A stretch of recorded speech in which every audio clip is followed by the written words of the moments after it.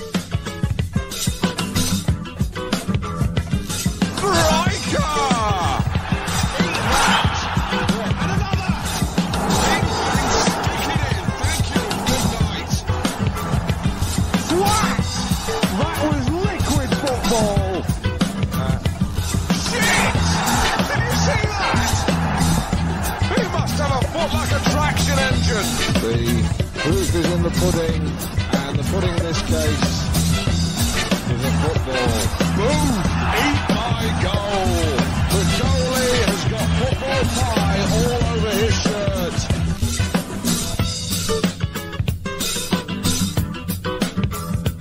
Welcome to this episode of the Down the Pub podcast. This cheery, happy episode of the Down the Pub podcast. Uh, welcome back, Gary. Um, what a win!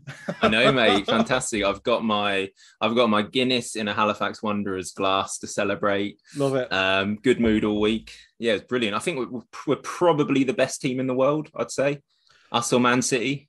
I, I definitely think so. I like to be honest with you. If Haaland had seen this performance, he probably would have moved to Halifax rather than Manchester. To be honest with Mate, you, Ma- Matty Fegan, give him a call. Is Yeah, is, going to sign? I- He's interested. a big time. Well, this could be, you know, we have the the big signing coming July the seventh. So fingers crossed. Get a do pre-season Yeah. with us, banging a few goals against Forge. Yeah. he'll be flying when the league starts in England. but it, it was it was the complete 180 of what happened against Forge, and I feel I mean um, it- it's just it's been amazing. It was an amazing game to watch. Uh, I watched the uh, Kai Brady's with the good folks from the Block 108, and I had a, a great time. There's a good crowd there singing some songs. I know the Privateers had their own thing at the uh, the Free House. One of my favorite things about that's happening now is that there's watch parties because before the away games were kind of dead and Mm. you'd kind of just either watch it at home or go to. I remember watching it a few times at the end of the bar at Nelly's, cause and like and no atmosphere or a band playing in the background. So it's kind of nice that all this stuff was happening in the city and there's a buzz about the away games. Big time, yeah. I know. I I remember kind of always thinking before that a lot of people that went to the games maybe only followed the home games and they didn't really know about the away games. But the more pubs and bars you have showing the games, the better it's going to be for everyone, especially with sound on as well. That's the key. Like I, I know a few of them would kind of. It always seems a bit sheepish and embarrassed about it. Like they'd stick it on at the end of the bar quietly, but they didn't they didn't want to like be like balls out we're a Halifax Wanderers pub but I think a few of them are now. Like I, I love watching games at Freehouse. I just think it's a really nice pub.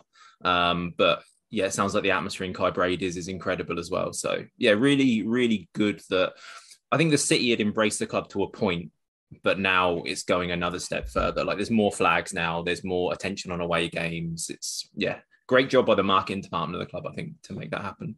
Uh, but I, I think I think a lot of it is coming from the supporters groups themselves because last year the club had their partner pubs and there was a kind of a bit of a push and I found at times you'd go to the pubs that they'd listed and the game wouldn't be on. So I think that kind of that put me off a lot of times when I'd like and it's true no fault of the club because obviously somebody at the club had talked to the bars and said, Hey, blah blah blah. And then you like I don't know many times like I turned up to the pub and they'd be like, Oh, we didn't even know there was a game on, that kind of stuff.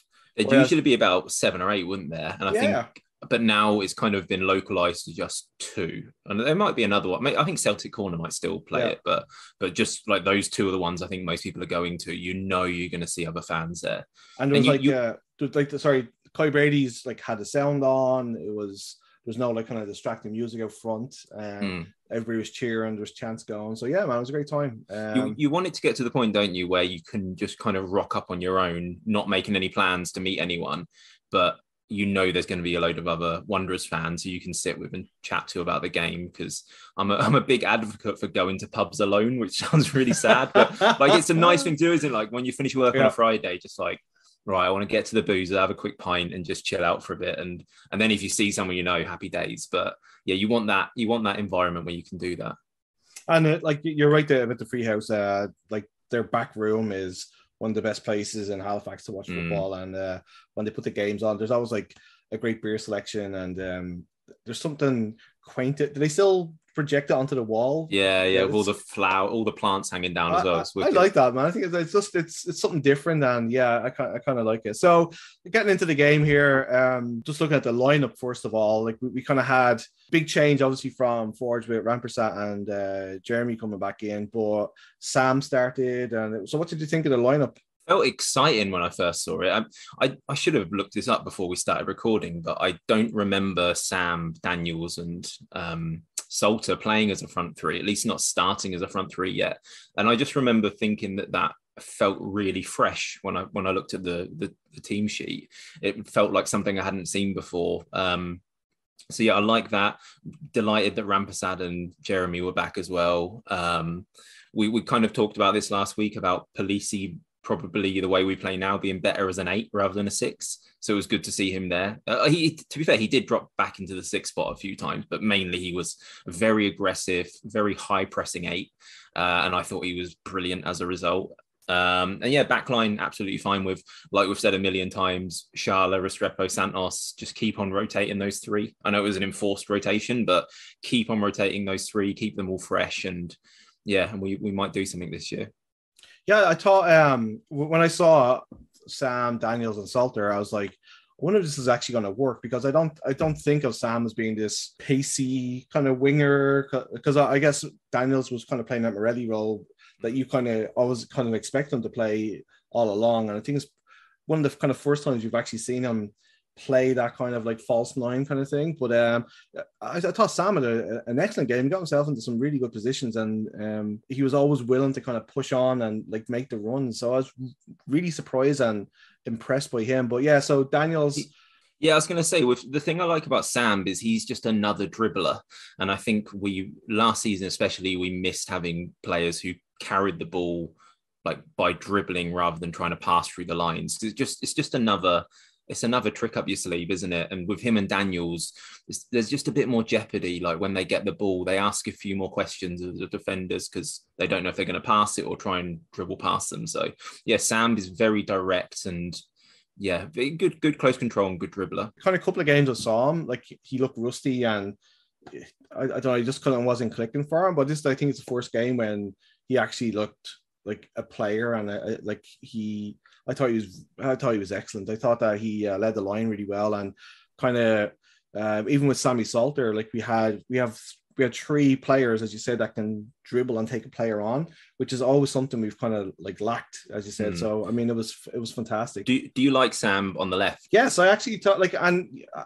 like, you know, we've kind of talked before about Salter kind of playing out in the wing, but when he does play out in the wing, or and they play narrow anyway, Salter coming in from the right, he's brilliant. Like I, I think like his um his close control like is so much improved on last year, and he like just this injection of confidence in, in Salter is like just making him such a great player to watch. Like I, I mean, it's it's night and day to last year, and like Samb, I, I think kind of was doing a lot of similar things, just like as you said, asking questions of defenders and giving people like stuff to think about and, and pressure on them. So it was fantastic. But I, I kind of want to get get your thoughts on Daniels. Like I mean, we we talk about him endlessly because we're just waiting for him to to click, and this kind of felt like Yeah.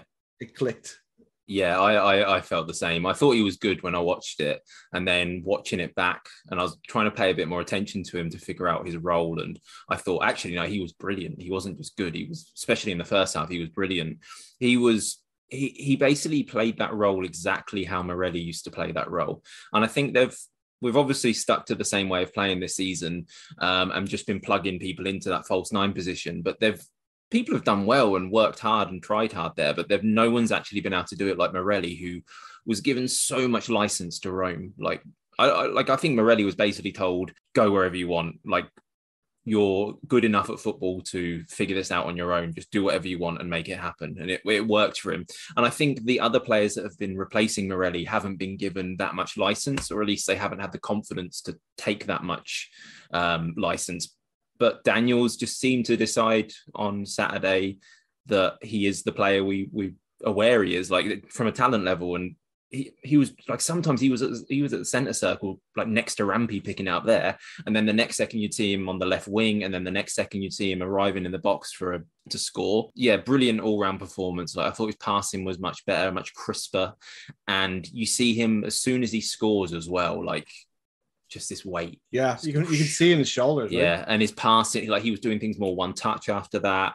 Um, you could just see he was acting on instinct rather than overthinking things, and brilliant goal as well. I don't know if you want to, you plan to talk about that later, but if you want to talk about that now, like his goal was just yeah, fantastic I, goal. I, kind of want. I just want to touch uh, on, on a point that you made about um, when he was dropping back and we saw him kind of in the middle, like the game against Forge. We kind of talked about players that didn't appear to be making an effort, and I, I think anybody who read between the lines would kind of realize who we were talking about. And but like honestly, like this game, like he was everywhere and he was putting tackles in. And you know, when, when Morelli has that license to do whatever he wants to, he still has a role within the, the team to defend when we're when we don't have the ball.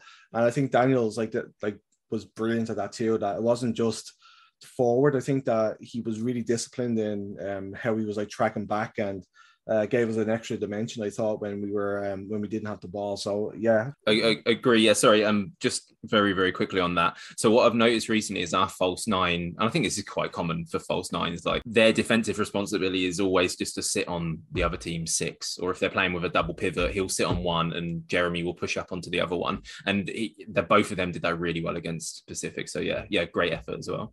So uh, do you want to talk us through the goal? Um, it, it, was. I just love that goal. I just like it was the whole thing, like the clever thinking of the the quick free kick. Because uh, I, I, think Samb had just got injured, injured or something like that. So I, I mm. think uh, Pacific had switched off. So you see, it's, it's, it's kind of hard to see because obviously we know the Starlight Stadium camera angle is really shitty. Like that's no great secret, but like you can just about see Gander in the corner of the picture, and so you see, sorry, not Morelli, Jesus. it's, like say, it's like saying your ex's name, isn't it? sorry, darling. I, I, Ross, take the M. Um, no, it's like um, yeah. So you see Gander like look at look at Daniels, and Daniels straight away makes the run before Gander's even kicked it. Didic is kind of slow to react, and Gander beautifully flighted ball over. And it's like in the next moment, which I loved about this goal, where Daniels kind of while the ball's in midair, he uses his body. So he's doing two things at once. And this is blows my mind actually. Like one of the things he's doing is turning his body to block off Didic from making a recovery tackle, whilst also angling his body so the flight of the ball lands in front of him. And it's um, it's amazing when you see him do it. Like it's it's really like shifty, subtle little movements. And yeah, great first touch, puts Didic on his ass, and I mean, the, the, finish was quite close to the keeper, who had a bit of a nightmare, but you can forgive that because everything that came before it was was top top level for this league. Like not yeah. many other players could have done that start to finish. I, I don't think so either, and I think you're right. Like just the like being able to judge the flight of the ball, the control, the the turn that like as you said, put Didic on his arse, and like Didic has been like one of the, the best defenders in the league, and you don't see that often where like you know somebody turns him inside out like that. And Callum Irving did have a nightmare, but you can kind of forgive him that one because like I don't think he was expecting it. Because if you mm. look at Daniels almost goes to feint to shoot, and you can kind of see him kind of turn. So I think he was just wasn't sure of his angles because I don't think he was expecting him to turn back inside like that. So it was it was I, I think it's probably one of the best Wanderers goals I've seen. The whole performance overall is probably one of the best Wanderers performances, and it was just yeah, definitely a, a welcome tonic from the the depth and despair that we felt after Forge. But mm-hmm. just I, I kind of wanted to just touch a little bit um, on obviously after the Forge game, like there was a lot of negativity, uh, like you know, and I kind of brought that up in the last one about how people were kind of muttering on the way out of the stadium, and you know that's why I kind of reached out to Derek to have him on the show and stuff. But like if you're Stephen Hart like and you're Derek Martin, like this is just like it's football so so weird, isn't it? Like I mean, we were all desperately afraid of what the fuck was going to happen out here, and then this happened. Like I mean, you got to give to Stephen Hart. I think he got his tactics spot on. It's not. I don't think it's a problem actually. I think it's a good thing that people are always constantly talking about football because it makes all of our days a lot better. But I, there's there's something that happens now, and this is not just a CPL or Wanderers thing. This is all levels of of sport actually, because of social media and because of idiots who podcast after every game to review what happened. Um, because of all this, it's all your fault. Stephen Hart's a hard time. I'm I'm Mr. Positive. No, no, like so. both this that's both of us like talking about every game after it finishes in depth. Like when when people like us do that, and when people talk about it in the Discord or the or Twitter or whatever, every game becomes a referendum on the coach or a referendum on recruitment or a referendum on the direction of the club. And like we all fail to look at things a bit more holistically over 10 games or 20 games or a season and every game decides whether we're shit or whether we're brilliant. And i think last week against forge we were awful. And again you and i did this. We sat here for an hour and talked about how shit we are. And then after this it's like the absolute opposite. And now i'm thinking oh you know pacific are going to fall away. If we beat ottawa like we we we're going to be third within a week maybe. And it just shows you how quickly it can change. Um, and it's interesting, like the the how you can mirror this game with the Forge game, because I think we actually beat Pacific by doing to them what Forge did to us, and it was almost like the exact performance that Forge did, but we did it this time, and it worked really well, and we we beat them. That that, that was one of the things I was actually going to bring up. Uh, like it was like Pacific didn't do their homework whatsoever, and didn't press high up the pitch. So because like, like against Forge, the two times they put so much pressure on the back line and Rampersad, like that kind of the the kind of back line, because we're kind of used to having the ball easy enough in the back line, but like when they're when Forge was under pressure, we were rushing the pass-ins, we were kind of trying to hit the corners, trying to like just do stuff that was very unwanderers like, and uh, th- these guys just sat off us like, and it was I, I, thought their first half they were so lethargic, like uh, mm. it was I mean, like I, I did want to ask you, like, I mean, like obviously we're Wanderers fans, but Pacific have been on an awful run. Like, like I think that's what five games, six games now, whether they win or yeah. Um, but like, do you think this team like is just lacking confidence, or do you think that good coaches like Stephen Hart, like Stephen Hart is a good coach. Like I, I, I have my disagreements, disagreements sometimes with the way he does stuff, but he is a good coach. But do you think that teams will just suss them out, or do you think that it's just a confidence thing? I think they flattered to deceive at the start of the season because they had a really favourable schedule. They played, I think, like five of their first six games were at home or something, coming off a season where they finished when they won the, the championship as well. So I think that was a bit of a false flag, and everyone thought they were a bit better than they are, which has made this like drop off in form feel a bit more dramatic. Whereas I, I think they've always been this team this whole season. I think they've always been quite patchy and like I think of them. I don't know how to explain. I think them like a punk rock team where they play in like bursts. They're playing like three minute bursts or one and a half bursts where they look really good. But I've never seen them consistently perform that well this season when I've when I've watched them at least. I think you just go from having a coach who was like he's a hugely charismatic figure, isn't he? Um, Pa yeah, like he's a hugely charismatic guy, like has like massive presence, doesn't he? When you see him, like even yeah. it comes across through the TV screen. So I can't imagine what it's like in training. Very high standards, and I have no idea if uh, Merriman's a good coach or not. I don't really know anything about the guy, to be honest. But that's a tough act to follow. That's a really tough act to follow, as well as losing your best centre back, very good right back, and I, I, actually thought at the beginning of the season, I thought oh, they've lost MacNaughton, but they've brought Didic in, and he's he's good. But we're the perfect team to play against Didic because he's he's he's a really good penalty box defender, and he's really he'll be brilliant against like Ottawa, like where they've got two big guys. Yeah. Didic will be brilliant in those games. But when you play against a team like us with a very dynamic front three who move and interchange, I think he struggles and his mobility's found out a bit. So yeah, they're they're they're they're right in it with us and Ottawa for that fourth, and maybe even Valour. I don't know for that fourth spot. I think.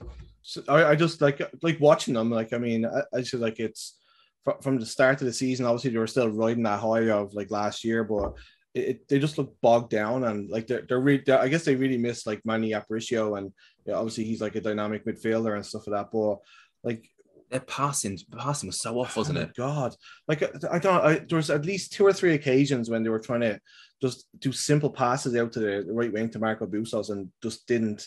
And even even he just seems off. You know what I mean? Like like I mean like he had a couple of like little moments in the game, and mm. like you're right, they, they kind of do like they're kind of playing in bursts. There's a couple of like good moments in the second half, but they didn't really create that much either. I mean, like there was the one that they hit the bar, like, and then I think there was one where uh Polisi uh, evil policey like um and look like I, I think everybody thought the goal had gone in because of the way it hit the the net. Um but like like it was just yeah it, it it's just really weird like and you know going from everybody's like favorites after the first five games like i said football's such a funny fickle business that now like stephen hart after this victory everybody's like you know like he's this amazing amazing manager and like james merriman's probably in trouble where people are probably like the fuck's going on out with the champions you know what i mean yeah like, exactly I, I, think uh, just a couple of things you said there like bustos i completely yeah i i've to be honest i've i've always been a bit of a bustos skeptic i've never thought he's quite as good as a lot of people say. So yeah, I, I don't I don't I think this league is probably a ceiling. I'd probably get pelters for that, but I've just never seen much. What like he's he's he's a right he's a right winger with a good left foot. Like there's loads of them about. I'd rather have Sammy Salter there doing that um, to be honest, because he's got a physical profile as well. Yeah, police, police. It's funny seeing the polices, wasn't it? Oh my god! Did you see that picture of the three of them afterwards? Yeah, it's like it. It looked like you know you see like behind the scenes movie pictures of like Tom Cruise with his stunt double. it reminded me of that, like Marcello Polisi with his stunt double. Like, oh my god, that's amazing. That's exactly it, man. It was. It just, it just looked like a bad science experiment. yeah, yeah, yeah, exactly. Like, yeah, but yeah, I, I just like um there was a couple of nice like little moments where the two of them kind of had a, a coming together in the middle of the pitch. yeah, it was kind of like you, you just felt like the, there was going to be an earthquake or something. It was just like a you know it was a momentous occasion of like two two uh, immovable objects hitting each other. But like like just flipping back to, to Bustos just a little bit. Like I I I I think he's a great player, and I think he's he is probably one of the best players in the league. But last season he got hampered by a lot of injuries. Um, he was kind of in and out of team, and then and I don't know whether that's playing a little bit on his mind that he, like he's probably afraid to because I think a lot of them are like kind of muscle injuries and he's probably just afraid to kind of you know players like that that have that bit of burst of energy. Like Michael Owen had it like uh, you know they kind of always have hamstring injuries and, and stuff like that. So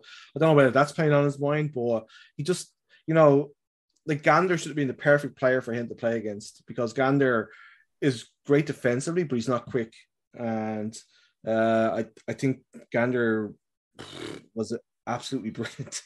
he yeah. hand, he handled everything that Bustos was throwing at him. It was it was a, probably his best performance I think so far I've seen in a Wonder shirt, and he's had a couple to be honest. Yeah.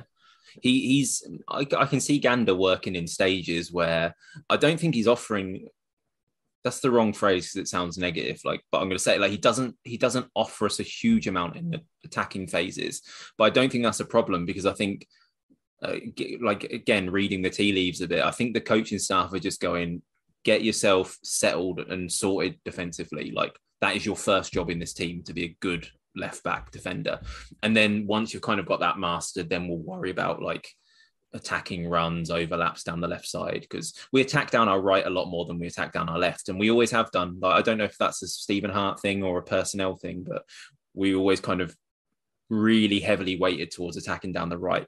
So Gander can just be a left back, a defensive left back, which is is fine now. And yeah, he really did well against Bustos, which uh, I think we can probably all admit that we we looked at that and went, that could be a bit a bit dicey. Yeah. But he, I don't, I don't think he was ever really that threatened by him.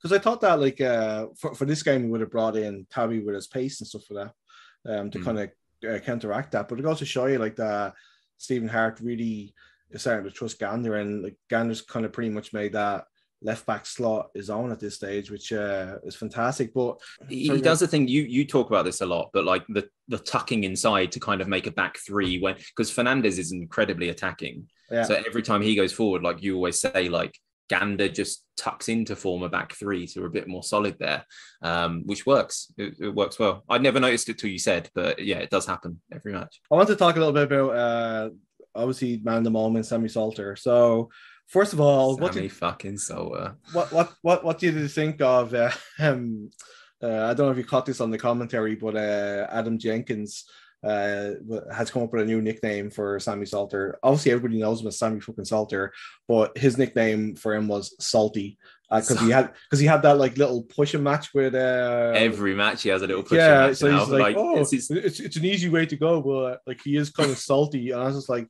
dude, come on, he's Sammy fucking salty. Sammy fucking, or like if you're feeling lazy, it's Sammy Salts, and that's it. Go on, Sammy Salts. Whichever you want, but he's oh, not salty. But I love it. He, every match now he gets in a little push it, pushing. Well, and he's, he kind of like if you ever like if you ever talk to him or if you like he's so unassuming and it's kind of funny how those kind of unassuming guys like are once they get on the pitch. It's like Mark Hughes. Like Mark Hughes was like the quietest man in the world. Yeah. Stick him on the football pitch and he turned into a beast. And it's just uh, the same as Sammy Salter. Have you, have you have you interviewed? You've interviewed Salter, haven't Yeah, you? yeah, Was he, he was he chatty or? he he literally just signed, and Ah, it was okay. it, it was during the bubble, and he's as I said, he's a really kind of quiet guy, but uh, I mean, like, um, he's he's definitely focused, and a lot of people, like, I was talking to Angus McNabb before he signed for us, and he was saying that he actually rated Salter quite a lot, and after last season, I was like, this guy doesn't know what the fuck he's talking about, and then he proved me wrong. Like, also, Yeah. like Angus, Angus, uh, despite what's happened to York right now, kind of knows what he's what he's what he's up to, you know. Mate, So- look look up look up pictures of Salter when he was playing um, university. So when he was playing university, he had long hair, and he is the spitting image for Andy Carroll. You're kidding me. I, nah, I, mate, honestly, spitting I, image. I, I kind of pictured him of having like something similar to Polisi, like a kind of dyed blo- or like frosted tips or something. Yeah. kind of he has that kind of vibe about him. But I did want to just I just want to just I did want to talk about uh the, the penalty, um how he kind of um set that up.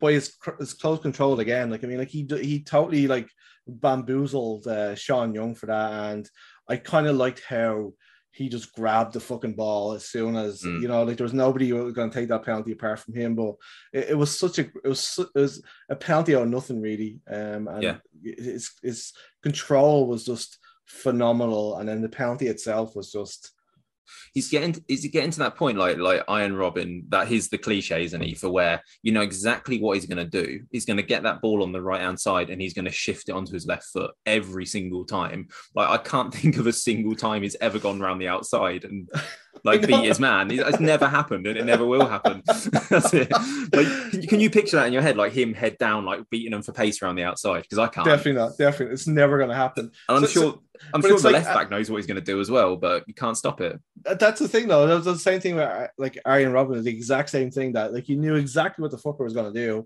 but sometimes you're just powerless to stop it. But like Sean Young, in his defense, I guess had just come on, I suppose, and Mm. was a little bit kind of slow getting into it. But it was just I, I watched it again today. He won the ball in a tackle, and then his close control was beautiful, and it was it was just asking for somebody to stick a leg out and, and do it. But I also wanted to give a, a shout out to the uh, to the annoying fucker in behind the goal with the vuvuzela. Did you did you catch Mm. that guy when he was taking the I, penalty? I could hear I could hear um bagpipes the whole game as oh well. my god, yeah, that, that was odd. But like, Well, it's- been tattoo the tattoo thing here this weekend, hasn't it? So when I was watching the game, I thought I could hear something from downtown. I live downtown. I thought I could hear something from that, but it or on the replay, I was like, oh no, it was actually there. the fucking loudest bagpipes in the world. no, it has because there's a guy when Salt was trying to take the the penalty. Somebody was in behind the goal, like, and he was like giving him the gears, and then he, he Mm. blew into a view.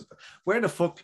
Like, I thought them things were banned, and it They was a should pur- be banned. It was a fucking purple one too. So obviously, like the Pacific are selling the fucking things. But that's why Mate, Salt pris- after. prison sentence. Yeah. If, if, if you catch someone in prison sentence, they're the And worst why- things that I think in that's why. Salter did the uh you know the shush celebration afterwards because Okay. that guy's been fucking super annoying.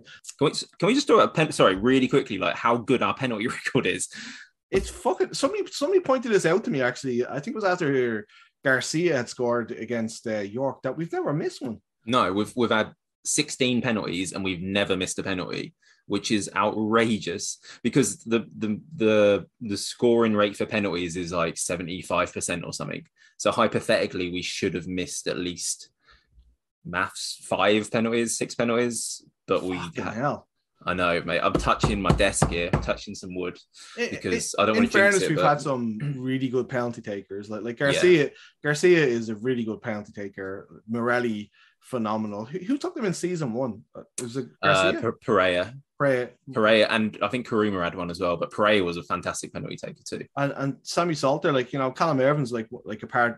I know this performance didn't really show it, but is one of the best goalkeepers in the Mm. league, and it, it- it's just it's just everything he's touching right now is gold, and I hope Yeah. it really continues for him. Like I mean, he's second in the the scoring charts now. Like uh, uh, Diaz doesn't look like he's going to be scoring anytime soon. Um, the only one that's probably going to give him a run for his money is uh, that Peppel kid from Cavalry, who's been on a, Yeah. a chart since he came back into the league. But Mm. so, um, I, I did want to just quickly talk, just touch on like our game management because it's always been a bit of a criticism of the team sometimes that they don't see out games properly.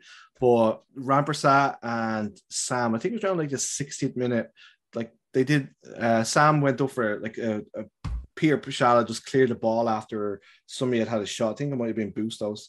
And the ball was coming and did it literally like touched the back of, of Samb and he like did this theatrical dive and stuff like that. But just it just released that ounce of pressure. It was a really good time that that happened. And then Rampersad did it, the same thing. And Rampy's air player, and like obviously, if somebody else was playing against him, they'd probably say that he's a shithouse like Becker because he's hmm. he's really good at taking a bit of contact and falling over, Yeah. especially for the size of him. And he did the same thing with uh, the Jamar Dixon. We were under pressure. And they just had a really good chance, and uh, he like got the slightest of nudges and just went over. And it was, I just thought like those little moments kind of just disrupted their play because they were kind of coming into it ever so slightly in the second half. I think they must have had a rocket in the second half and they were kind of a little bit better. But I just thought we controlled the game better than we normally do. And we kind of, I, there, there's no time in that second half. And I thought we're to fucking blow this. Even when we were 2 0 up, I was just like, I just thought we had complete control of the game. And I thought was the game management was fantastic. Mm, yeah, I think when I when I see Rampersad do stuff like that, and when I see Samb do stuff like that, I think good. I Good, know, like, right? we- how many times before have we said like we're a bit nice and we're like we're, like kind of a team of players you'd probably you want your daughter to marry, but oh, you know, we want them to be a bit more dickheady and yeah. assholes and and I've got I've like I have absolutely no problem with diving and stuff. I know that's a very unpopular thing to say, especially in North America, but like I think the reason teams do stuff like that is because they have such a will to win.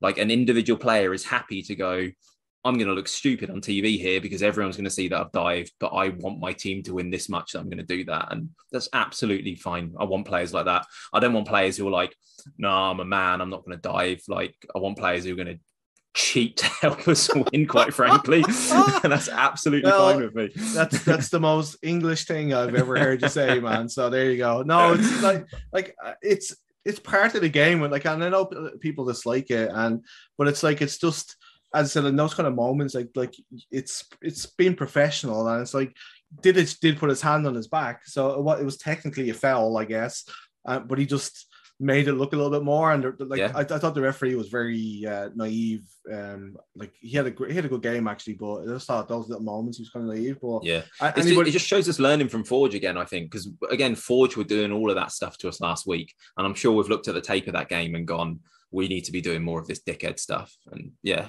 Oh, big Long time. continue. But, but anybody who wants to see a awful, awful dive, I think it was around the 60th minute when Samb did his. It was uh, even I think Adam Jenkins actually brought it up. He's like, yeah, "Oh, come on!" He didn't even. I was just like, he's a simulation, didn't he? I love it. I love it. I love it. So you know, look, looking towards uh, uh, Thursday and our game against uh, Ottawa.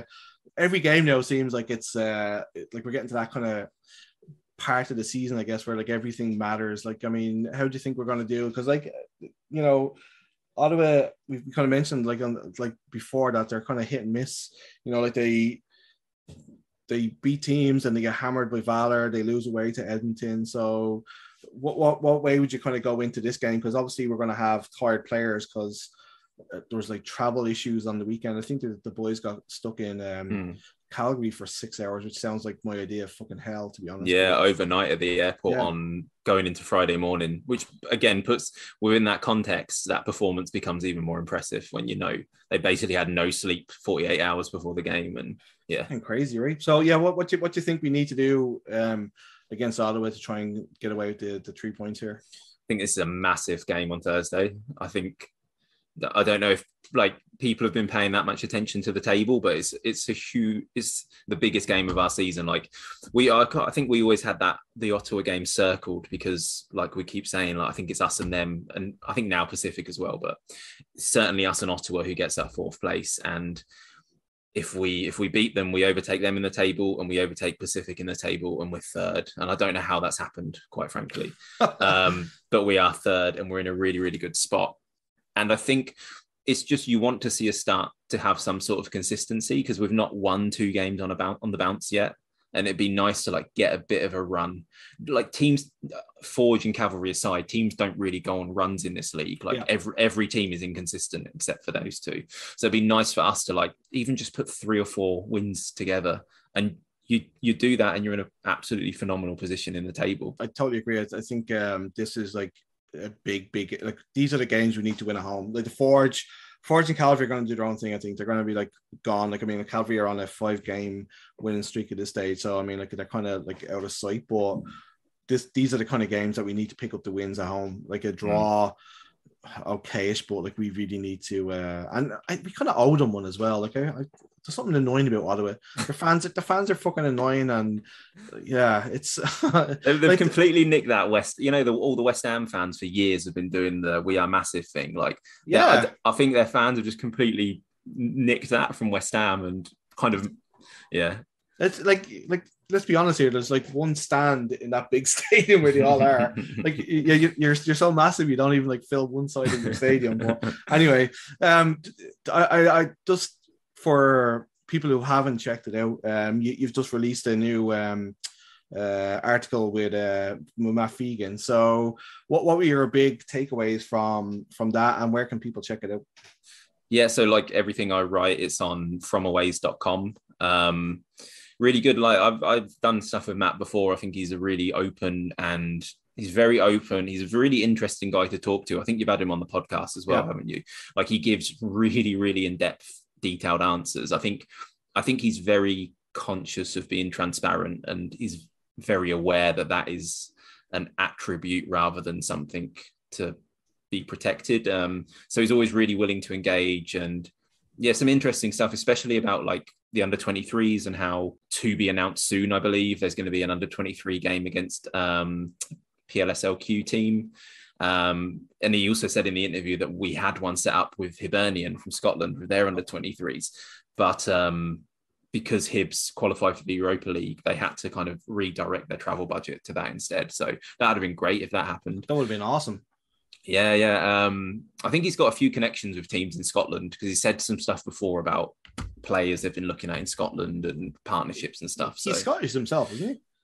I, I think he's, I think he might be. Yeah, Yeah, I know. He, think I, I think he grew up all over. I think he grew up a bit in England, a bit in Scotland, a lot in Canada. So yeah, um, so yeah, I think he's got some connections there. So yeah, always interesting and like it, hearing him kind of talking about squad building as well. And what I thought was interesting was how he kind of tied into how now we've got a very defined way of playing.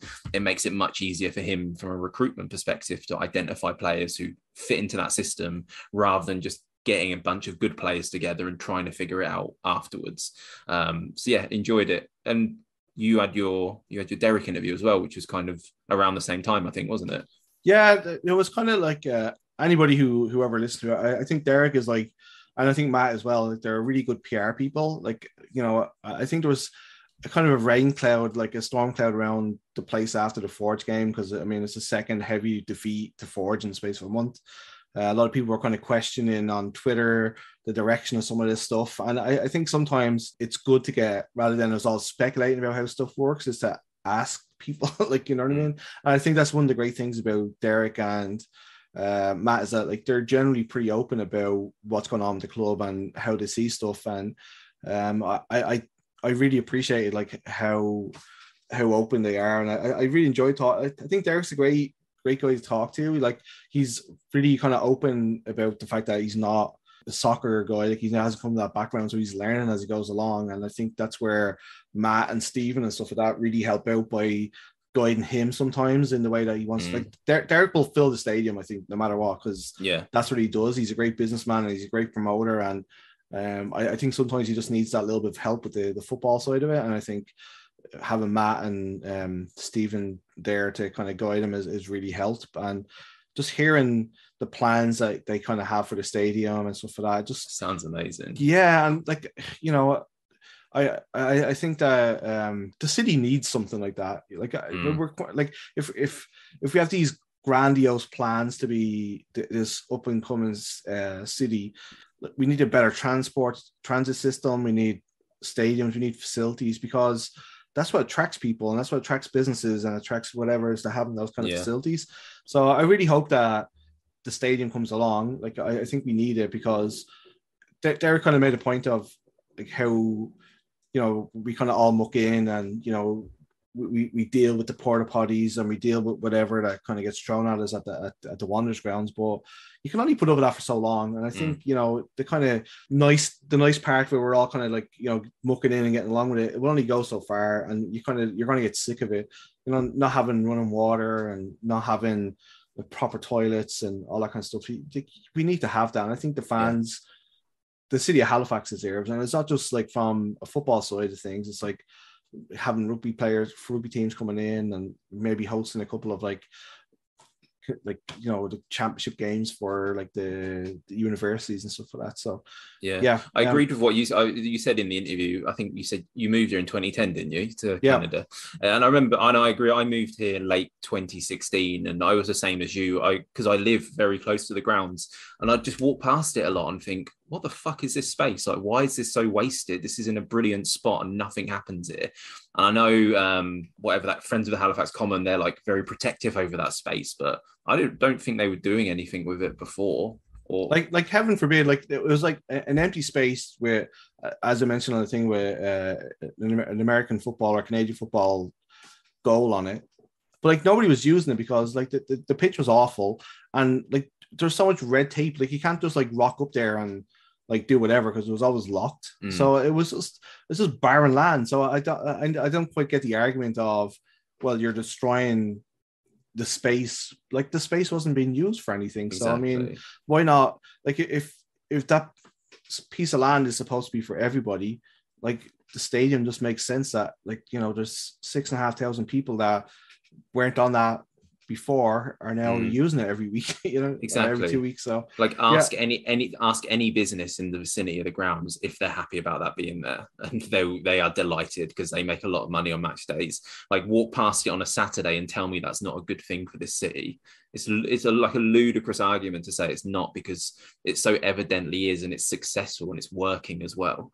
Like like we sell out most weeks or come close to it. Like it's, it's a no brainer. I think I think it will happen. I think like there's, there's surely people aren't that dense to not want this to become you'd be surprised. But, but that's yeah. the thing though. Like like I, I can understand if they were selling the land off for apartments or because that's where every spare scrap of land right now is going for apartments because the city's mm. getting bigger and people are moving here. But that they're not. They're using it for something that's good for the city. So yeah i hope that common sense prevails unfortunately in life that doesn't always happen. Um but yeah man uh let's uh, let's wrap up there and uh, Thursday. Let's do it.